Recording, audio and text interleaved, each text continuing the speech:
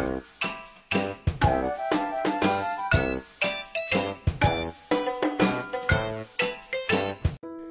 Friends എല്ലാവർക്കും ചിപ്പീസ് family കഫേയിലേക്ക് സ്വാഗതം. ഇന്ന് നമുക്കൊരു അടിപൊളി റോസ്റ്റ് ഉണ്ടാക്കാം. ഒരു ചൂര റോസ്റ്റ് അതും ലക്ഷദ്വീപ് സ്റ്റൈലാണ് വളരെ ടേസ്റ്റാണ് ഇത് കഴിക്കാനായിട്ട് ചെയ്യാൻ അതിലേറെ ഈസിയാണ് അപ്പോൾ അത് എങ്ങനെയാണ് ചെയ്യുന്നത്? നമുക്കൊന്ന് പെട്ടെന്ന് പോയി നോക്കിയിട്ട് വരാം.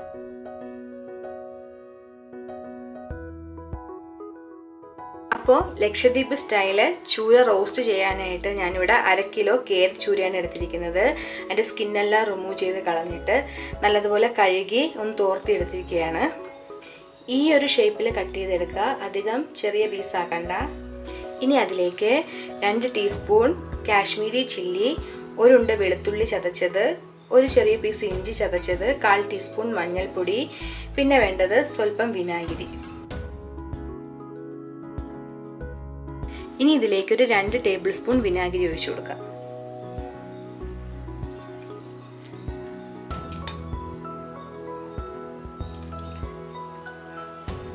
ഇനി ആവശ്യത്തിനുള്ള ഉപ്പിട്ട് കൊടുക്കാം. ഞാനിപ്പോൾ ഒരു ഒരു ടീസ്പൂൺ ഉപ്പിട്ട് കൊടുക്കുന്നുണ്ട്. ഇനി ഇത് നല്ലതുപോലെ മിക്സ് ചെയ്തെടുക്കാം.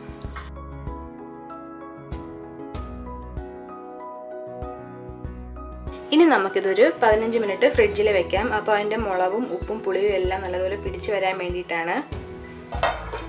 ഇനി നമുക്ക് ഫ്രൈ ചെയ്യാൻ ആവശ്യത്തിന് ഒരു പാൻ എടുപ്പത്ത് വെക്കുക. അതിലേക്ക് നമുക്ക് കുറച്ച് വെളിച്ചെണ്ണ ഒഴിച്ചു കൊടുക്കാം.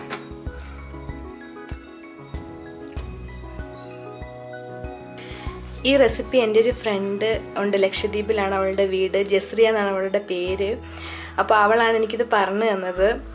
നല്ല ടേസ്റ്റ് ആട്ടോ ഇത് കഴിക്കാനായിട്ട്. ഒരു വട്ടം അവളുടെ വീട്ടിൽ ചെന്നപ്പോൾ അവൾ എനിക്ക് ഉണ്ടാക്കി തന്ന ഒരു ഡിഷാണ് ഭയങ്കര ടേസ്റ്റ് അത് കഴിക്കാനായിട്ട്. പിന്നെ അവരുടെ നാട്ടിലെന്ന് വെച്ചാൽ നമ്മുടെ സുറുക്ക എന്ന് പറഞ്ഞാൽ തെങ്ങിൽ നിന്ന് എടുക്കുന്ന വിനാഗിരിയാണ് യൂസ് ചെയ്യുന്നത്. പിന്നെ നമുക്കൊന്നും അത് കിട്ടാത്തത് കൊണ്ട് നമ്മളിപ്പോൾ സാധാരണ വിനാഗിരി യൂസ് ചെയ്യാം.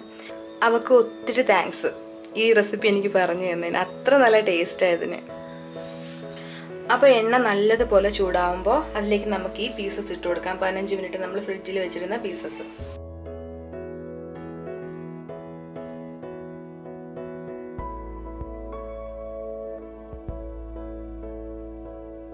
തീ നമ്മൾ ഫുള്ളിലിട്ട് തന്നെ ചെയ്യണം. നല്ലതുപോലെ മുരിഞ്ഞ് ഫ്രൈ ആയിട്ട് തന്നെ വരണം. ചെറിയ അതായിട്ടൊന്നും ഫ്രൈ ആയാൽ പറ്റത്തില്ല. നല്ലതുപോലെ തന്നെ മുരിഞ്ഞ് വരണം. അതിന് വേണ്ടിയിട്ടാണ് നമ്മൾ നല്ല ഫുൾ ഫ്ലെയിമിലിട്ട് ചെയ്യേണ്ടത്. പ്രത്യേകം അവർ പറയുന്ന ഒരു കാര്യം ഇത് മാത്രമാണ്. നല്ലതുപോലെ ഫ്രൈ ചെയ്തെടുക്കുക നല്ലതുപോലെ മുരിച്ചെടുക്കുക എന്നാണ് പറയുന്നത്. അപ്പോൾ നല്ലതുപോലെ ഒന്ന് മുരിച്ചെടുക്കണം. ഒരു സൈഡ് നല്ലതുപോലെ മൂക്കുമ്പോൾ നമുക്ക് തിരിച്ചിട്ട് കൊടുക്കാം.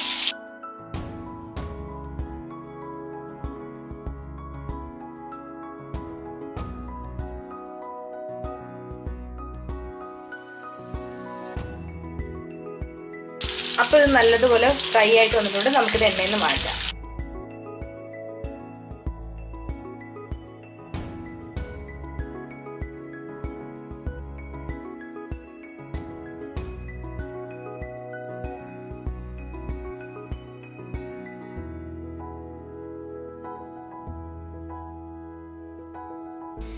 ഇനി നമുക്ക് അതേ പാനിലേക്ക് ഒരു രണ്ട് സവാള ഇതുപോലെ നീളത്തിലരിഞ്ഞാൽ നമുക്ക് ചേർത്ത് കൊടുക്കാം. ഇനി നമുക്കിതിലേക്ക് സ്വല്പം ഉപ്പിട്ട് കൊടുക്കാം. നമ്മൾ മീനിൽ ഉപ്പിട്ട് കൊടുത്തിട്ടുണ്ട്. അപ്പോൾ കുറച്ച് മാത്രം ഇട്ട് കൊടുക്കാം. ഗ്രേവിക്ക് വേണ്ടിയിട്ട് മാത്രം. ഇനി നല്ലതുപോലെ ഒന്ന് മൂത്ത് വരണം. ഇനി നമുക്കിതിലേക്ക് സ്വല്പം കറിവേപ്പില ഇട്ട് കൊടുക്കാം.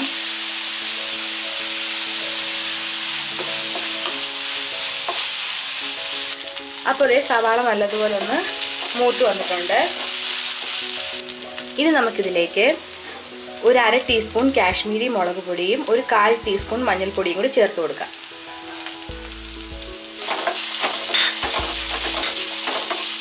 ഇനി നമുക്കിതിലേക്ക് ഒരു തക്കാളി ഒരു വലിയ തക്കാളി നമുക്ക് ചേർത്ത് കൊടുക്കാം. ചെറുതായിട്ട് അരിഞ്ഞതാണ്.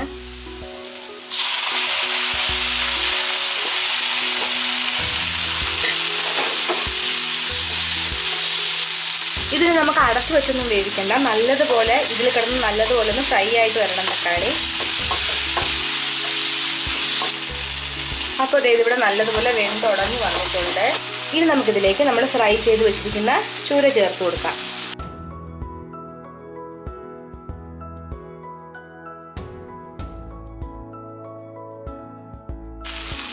ഇനി ഇത് സാവധാനം ഒന്ന് ഇളക്കി കൊടുക്കാം.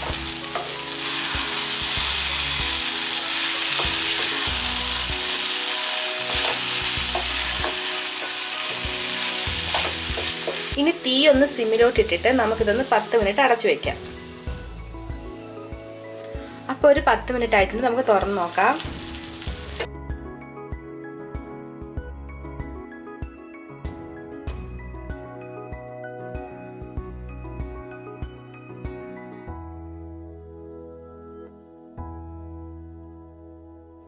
അപ്പോൾ നമ്മുടെ ലക്ഷദ്വീപ് സ്റ്റൈൽ ട്യൂണ റോസ്റ്റ് ഇവിടെ റെഡി ആയിരിക്കുകയാണ്. എന്ത് എളുപ്പമല്ലേ ചെയ്തെടുക്കാനായിട്ട്. പിന്നെ നമ്മൾ ഫ്രൈ ചെയ്യുമ്പോൾ നല്ലതുപോലെ ഒന്ന് മൊരിച്ച് ക്രിസ്പിയാക്കി ഫ്രൈ ചെയ്തെടുക്കുന്ന കാര്യം മാത്രമേ ഉള്ളൂ. ഇതിലൊരു വലിയ പണി എന്ന് പറയാനായിട്ട്.